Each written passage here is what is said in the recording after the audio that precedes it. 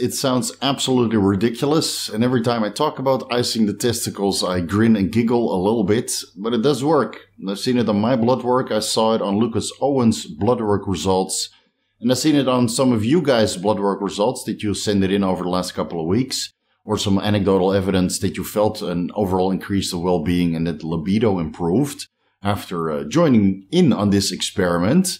So overall, my results, Lucas' results, and some of you guys' results all show a lot of positive changes.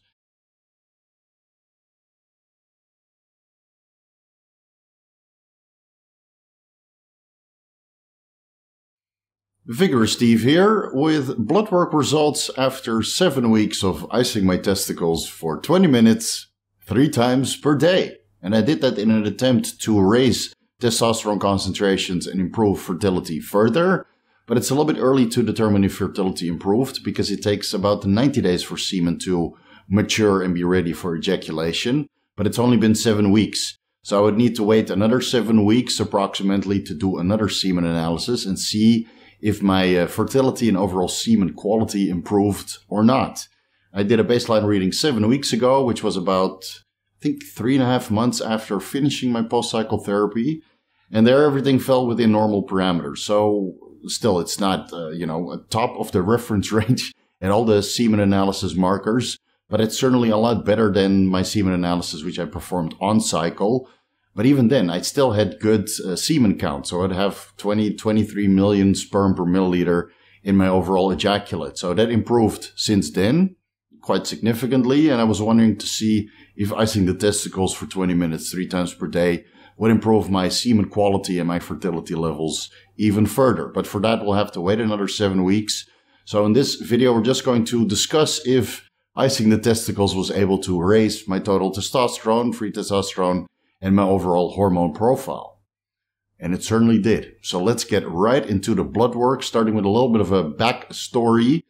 I did a post cycle therapy. I recovered just fine. My total testosterone ended up at 550 nanograms per deciliter, but my non-alcoholic fatty liver disease was not resolved at that time. So I decided to do a fasting mimicking diet.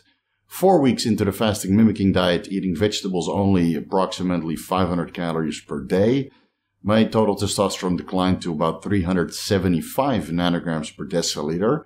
And at that point, I talked, uh, I think it was about a week pre- previously, I discussed with Lucas Aoun of the Boost Your Biology podcast. He mentioned to me icing the testicles was actually quite beneficial in his scenario. He never run a cycle in his life, but he was able to raise his total testosterone concentrations by about 20%.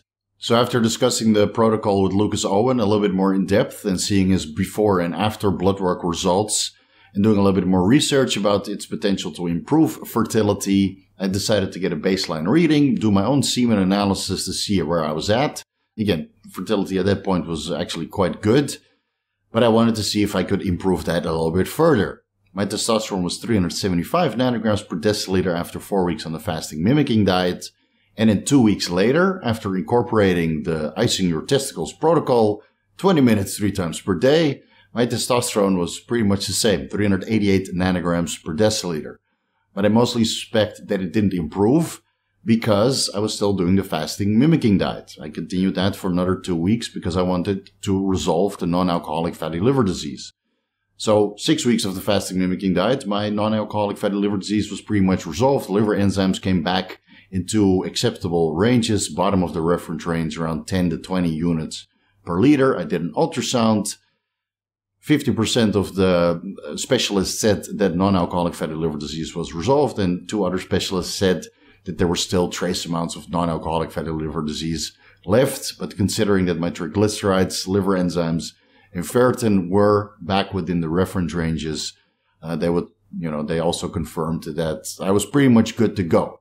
So I increased my calories again, reintroduced the carbs, the proteins and the fats. Because again, during the fasting mimicking diet, I wasn't really eating that much. 500 calories of vegetables is uh, kind of peanuts, you know. That's why I ended up at 85 and a half kgs. So slowly increased the calories, um, ended up in a caloric surplus again. I don't think I was eating the same amount. I'm, I do not think I'm eating the same amount now as I was uh, at the end of my post cycle therapy, where my testosterone was 515 nanograms per deciliter. I'll overlay my current diet. I think it's about 2,500 calories per day. I'm still, I'm still trying to build up my uh, metabolic rate and slowly improve my strength and stamina and, you know, uh, training capacity. But my testosterone, in the meantime, after slowly increasing the calories, came from 388 nanograms per deciliter, or let's say, you know, before I started icing the testicles at 375 nanograms per deciliter, my testosterone came back up to 627.39 nanograms per deciliter. It's a little bit of a, a, false increase. You would say, man, that's over 150% increase from 375 to 627. But again, the baseline reading is after finishing the post cycle therapy. It was 515 nanograms per deciliter. So let's just say, let's forego the results during the fasting mimicking diet. Because again, low calories is uh, very deleterious for your overall total testosterone concentrations. And my sexual binding globulin ended up at like 112, 120 nanomoles per liter.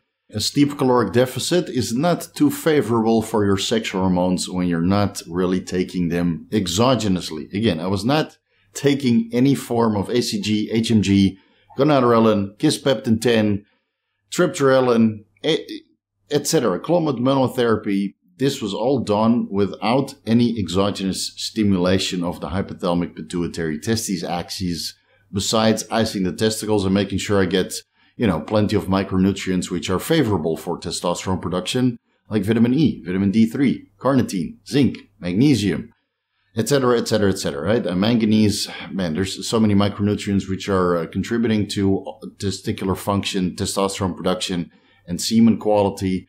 I'll list them on the screen so you guys can uh, see which are uh, beneficial. And I was taking them the entire way through. Now, testosterone as of last weekend, 627.39 nanograms per deciliter. And I'm back up to 95 kilos, baby. I gained 10 kilos. It's all muscle memory. it's not like icing the testicles gave me 10 kilos of muscle mass. That's all muscle memory because yeah, I used to be 115 kgs and now I'm only 95, but I'm happy at 95 kilos considering that my testosterone increased and well, I'm, I'm basically drug free, right? Two units of growth hormone. Does it count? Can't say that I'm drug free, but I'm uh, anabolic androgenic steroids free and I'm solely relying on my endogenous testosterone production, which came up from baseline. What is it? A little bit over 20%. I'd say that's very noticeable. That's a good success. And let's have a look at the progression of my estradiol concentrations. A few weeks after finishing the post-cycle therapy, when my testosterone was 515 nanograms per deciliter, serum estradiol was somehow undetectable, which I think was a fluke. I contacted the labs to confirm. They said it was a correct reading, was below 10 picograms per milliliter, but my libido was still there. So I honestly think that was a false reading. Four weeks into the fasting mimicking diet, my serum estradiol was 21.4 picograms per milliliter, I believe. Then I started icing my testicles. Testosterone increased marginally to, from 375 to 388 nanograms per deciliter, but estradiol came up from 21 to 29 picograms per milliliter. So I was a little bit worried, but again, libido increased, so I didn't really mind. And again, 500 calories per day. You know, how much libido do you expect, uh, you know, in that situation? Now, five weeks after getting a 29 picograms per milliliter on my serum estradiol, it has increased to 32.4 picograms per milliliter. So again, it's not much of a change considering that my total testosterone increased significantly over the last few weeks, comparing the end of the fasting mimicking diet to now. My estradiol didn't come up much, but my testosterone certainly did. And I honestly think some of these fluctuations are because I was still running 100 milligrams of zinc picolinate, which zinc might act as an aromatase inhibitor or lowers the conversion of testosterone into estradiol to a certain extent. So I'll lower the zinc from 100 milligrams to 25 milligrams zinc picolinate supplementary on, on top of the 10 to 15 milligrams of zinc I get from my diet. So I get a little bit over the uh, daily recommended intake values But still, you know, I like a little bit additional zinc because zinc is used in so many processes, including the immune system and gene transcription. And yeah, at this point in time, I think we can all use a little bit of an immune system boost. And since I'm getting back into bodybuilding and slowly putting on uh, muscle tissue, I need a little bit of support regarding gene transcription as well. So I'll stay, still stay on top of my zinc, but I will lower it a little bit to see if my estradiol will come up over the next four weeks, eight weeks or so. Again, I won't be using any aromatase inhibitors, any dinyl or calcium D-glucarate, or anything else that could potentially lower uh, aromatization. No nicotine, for example. Right? There's many other compounds out there that could have a positive or negative effect on aromatization, depending on how you look at it. But I will try to, you know, lower or exclude all the compounds which are known to have a dramatic effect on lowering serum estradiol concentrations.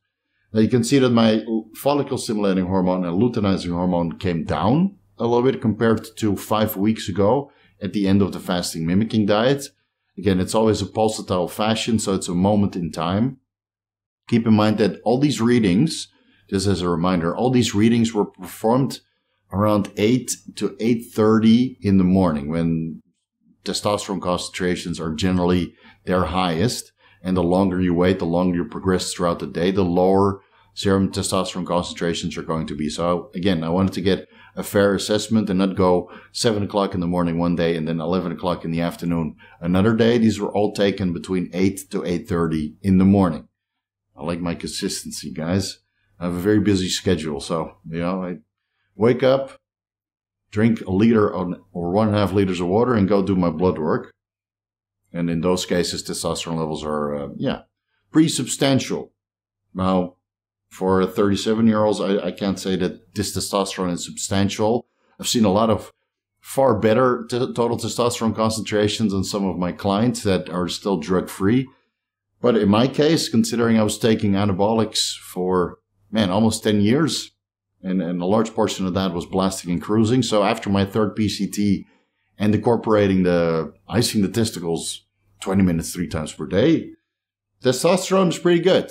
And luteinizing hormone and follicle stimulating hormone are a little bit on the low side, but they're within the reference range. And again, it's just a moment in time. So maybe next time I do my blood work, estradiol and total testosterone is a little bit lower, and luteinizing hormone and follicle stimulating hormone are a little bit higher. Either way, I feel feel really good. Libido is, yeah, it's very nice, guys. It's um, could always be better, but it is very good. Now, my sexual binding globulin came down from, let's say, 120, 112 nanomoles per liter at the points during the fasting mimicking diet to 54 nanomoles per liter. I was running three milligrams of boron twice per day, so that reduced it slightly, even though my estradiol came up a little bit. But again, you know, being in a caloric surplus, and having a stable thyroid levels have, has an effect on your sexual binding globulin levels as well. I don't think I'll continue with the boron. I doubt it can suppress it any further. I think this is where my sexual binding globulin is going to be.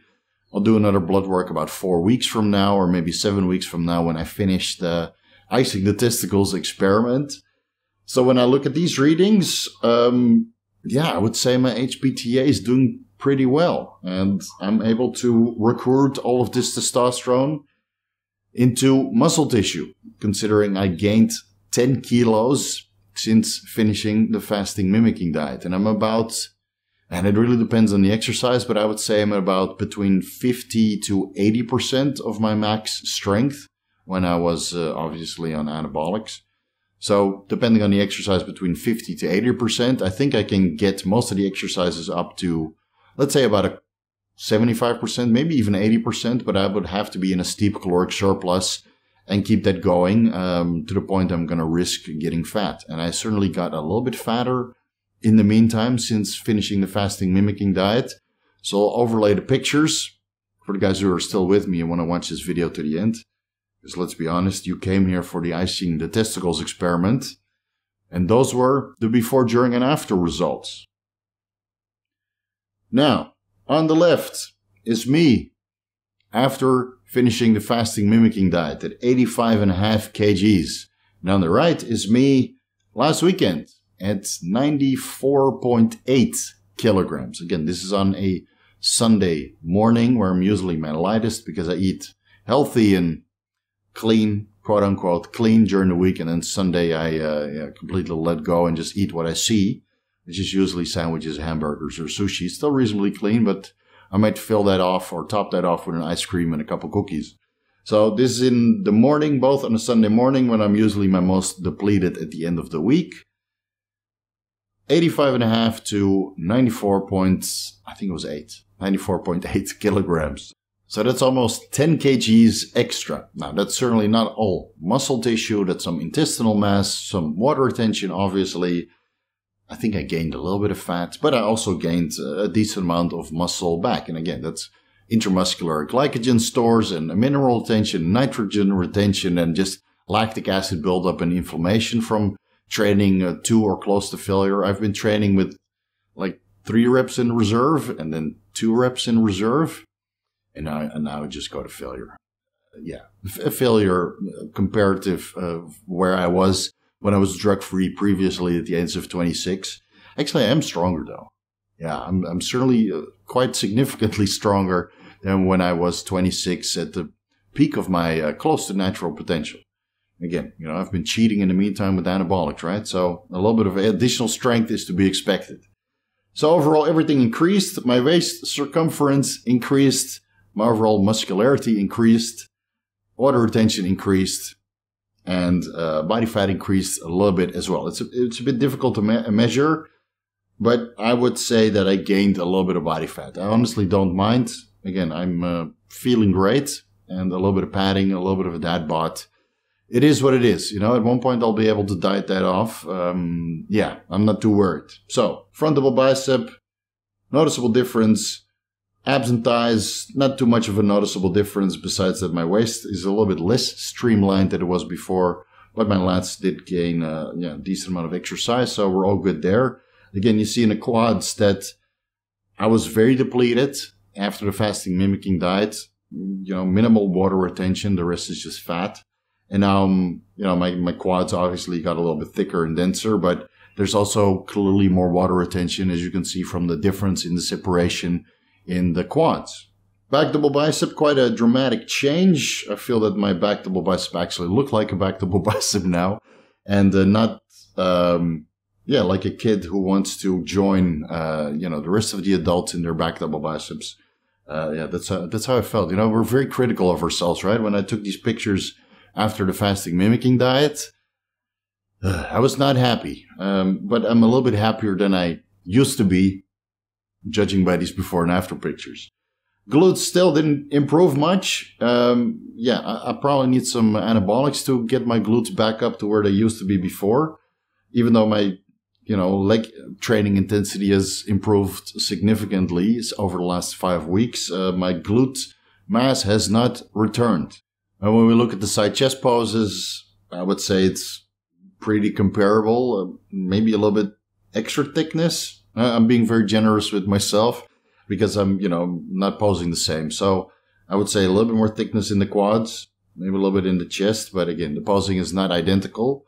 Um, so it's, it's a little bit hard to draw a conclusion from these uh, side chest poses.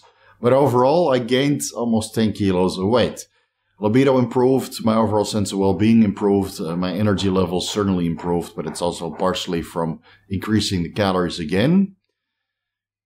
You know what also improved? Testicle volume.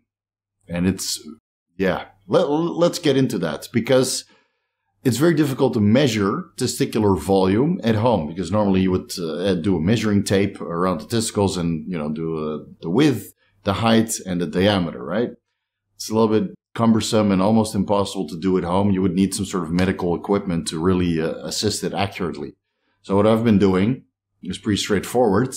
You get a measuring cup, fill it to the brim with water, and then see how much water you can displace by uh, teabagging or squatting down, or whatever you want to call it, squatting down, teabagging into the measuring cup and see how much water I was able to displace. So before icing the testicles, I was able to displace about 60 milliliters of water. Again, this is taken over three or four different measuring points just to get an average. Again, I'm thorough with all of my measurements, as you guys can see from the countless uh, blood work results that I uh, am able to display for you guys. So, four, three or four different measuring points, an average of 60 milliliters of water displacement uh, by teabagging a measuring cup. Seven weeks after icing the testicles, I was able to displace 68 milliliters of water on average. That's almost 10% increase.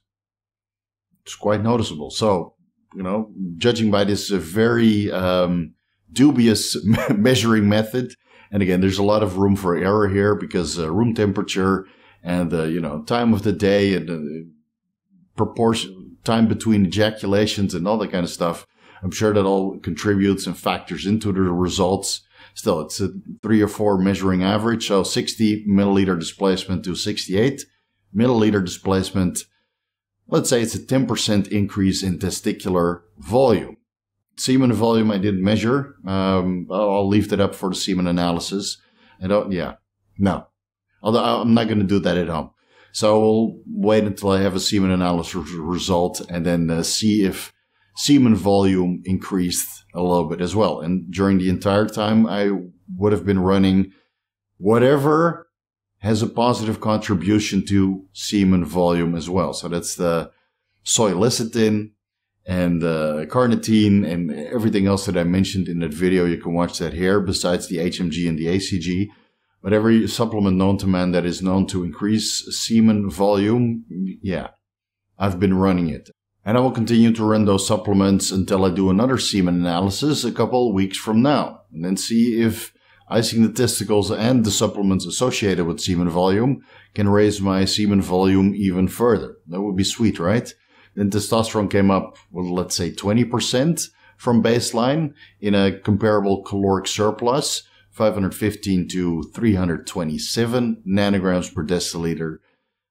Testicular volume came up with approximately 10% or a little bit more. Again, a little bit of an amateur measuring point, but hey, it's a the best I can do during these times. And then hopefully semen volume can increase with what? Well, anything is a bonus, right? 10%, maybe 25%, 50%. That would be pretty awesome. Uh, I can say from now that it's, yeah, pretty awesome. So we'll get the measuring uh, before and after a couple weeks from now.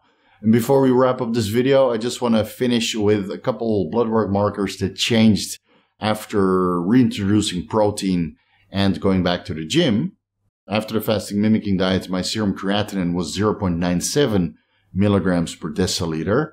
And now five weeks back into the gym, training, uh, yeah, closer and closer to failure, but not beyond failure.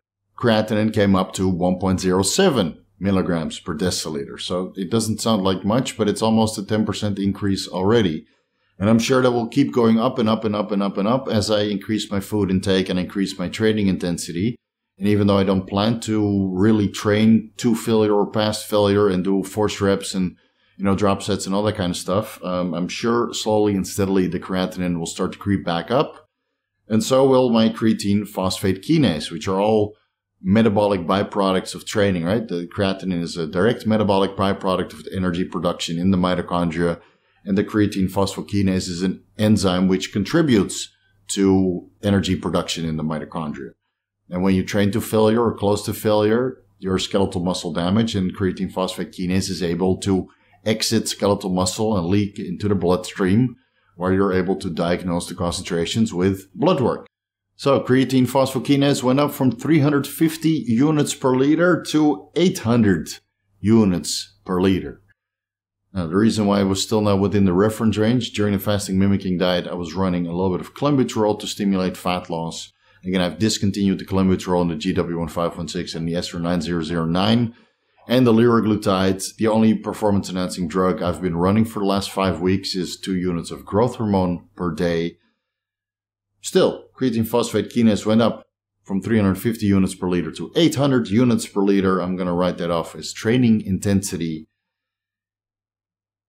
And my liver enzymes came back up, even though I took less performance enhancing drugs and less stuff that could pass through my liver and raise liver enzymes in a negative sense. But by reintroducing the training my liver enzymes increased from about 10 to 20 units per liter to 25 to 30 units per liter. So that's noticeable, 150% increase just by going back to the gym and training, you know, with decent intensity, decently heavy weights, but not anywhere close to absolute failure. So I'm really wondering um, if those are going to increase, increase, increase again as my uh, training intensity increases over the next couple of weeks.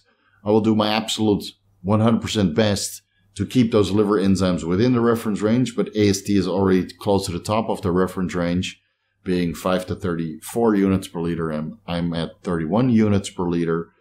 And honestly, it wouldn't surprise me if I end up at 40, 45, 50 units per liter again. I will say that I did discontinue a lot of the supplements I was taking during the time I was resolving the non-alcoholic fatty liver disease. So I stopped taking the TUDCA because I ran out. I stopped taking the UDCA because it ran out. I reduced my vitamin E from 800 IUs to 400 IUs. Um, I'm still on Silymarin. I'm almost close to the bottle, so I'm still running uh, Silymarin. What is it? 600 milligrams per day. But most of the stuff I'm slowly phasing out. And I replaced the choline and, inositol supplements with soy lecithin, which contains phosphatidylcholine um, to a much lower amount that the choline and inositol supplements do. But again, my non-alcoholic fatty liver disease is resolved. And with the eggs that I'm eating and the phosphatidylcholine that the soy lecithin contains, I'm still getting about 3,000, 3,500 milligrams of choline on a daily basis. So I honestly think that this increase in liver enzymes is purely due to increased training intensity. And I'll keep my close eye on it and, and of course be proactive in, you know, the supplementation and, and the practices that are required for optimal liver health. We'll do a separate video um, in the next couple of days about liver health and how to sustain that while you're running uh, oral anabolic steroids or selective androgen receptor modulators. So I'll do my absolute best to keep that as uh, favorable as possible, but I might have to reintroduce the TUDCA at a certain point just to improve bile acid flow and excretion. Because one thing that I did notice is that during the fasting mimicking diet, when I was running all these uh, liver su- uh, supplements and liver support stack to resolve the non-alcoholic fatty liver disease is that I had no bloating, no gas, no no digestive issues. And after taking the Tutka and the UDCA out, I get a little bit of gas sometimes because again, I'm still eating a decent amount of vegetables because I want to promote bile acid excretion by offering a decent amount of fiber on a daily basis to, um, you know, bind up the bile acids and whatever toxins are excreted. So my vegetable intake hasn't changed. Of course, I've increased my uh, protein intake and my fat intake, but I removed the TUDCA and now feel a little bit, you know, sometimes a little bit backed up, a little bit constipated. So I'm probably going to add the TUDCA back in as a maintenance dose of 500 milligrams per day. And then hopefully uh, the flatulence and passing stool will be a little bit easier. And, you know, fingers crossed, double fingers crossed that it's able to keep my liver enzymes uh, favorable or at least prevent them from increasing any further. And I think that pretty much wraps up this video. Thank you guys so much for watching. For the guys that are interested in uh, icing the testicles, you have my blessing. Just make sure you don't put the ice pack directly on top of your testicles. Yeah, no direct contact. Um, wrap it in a towel. So you're basically doing a little bit of a heat transfer through the air and do that for 20 minutes three times per day, maybe 30 minutes. Again, I forgot that there was an ice pack present uh, a couple times and it was there for like 30 minutes, 35 minutes. No adverse effects, um, a little bit of a regression or uh, in, how do you say this? Internalization. Um, retraction. That's probably the word. Retraction. a little bit of retraction after forgetting to remove the ice pack. Uh, but nothing that, um, you know, 20 minutes of uh, relaxation uh, doesn't resolve. Was it beneficial? Yes, highly. Based on my blood work and some of the blood work that I've seen, I feel that it's beneficial for everybody that's not on anabolic androgenic steroids or SARMs. Again, if your HPTA is still functioning and you're looking for ways to improve total testosterone concentrations and perhaps semen volume and semen quality, it seems to be a very promising way to go. And I'll leave you guys with that. Thank you guys so much for watching. If you're looking for the most comprehensive guides to bodybuilding pharmacology, You can find the ebooks on my website, vigoroussteve.com slash shop. If you're looking for personalized advice, you can find the rates to my services in the services section. Contact me directly if you're interested. Or follow me on Instagram at Vigor Steve. I saluted you already, but I'll salute you again. Thank you guys so much for watching. Vigorous crew. I'll give you guys a front double bicep. Oh, that's that's cheating, right? That's uh, Instagram cheating. So we're we're here right now. It doesn't really translate to the before and after pictures. Um, but every time I go to the gym, or at least when they uh, were open, every time I go to the gym, people uh, look at me just like the last off season. And ask, are you bigger than yesterday? You know, like the last off season, every day, same guys would ask, dude, you're, you're bigger than yesterday. And then the next day, bro, you're bigger than yesterday. So that was occurring again. And now people are starting to stare at me again. Social anxiety is uh, returning slightly. Uh, yeah, we'll take the good with the bad, right? But at least at 95 kilos with 630, 627 nanograms per deciliter, feeling pretty good. See you guys in the next video.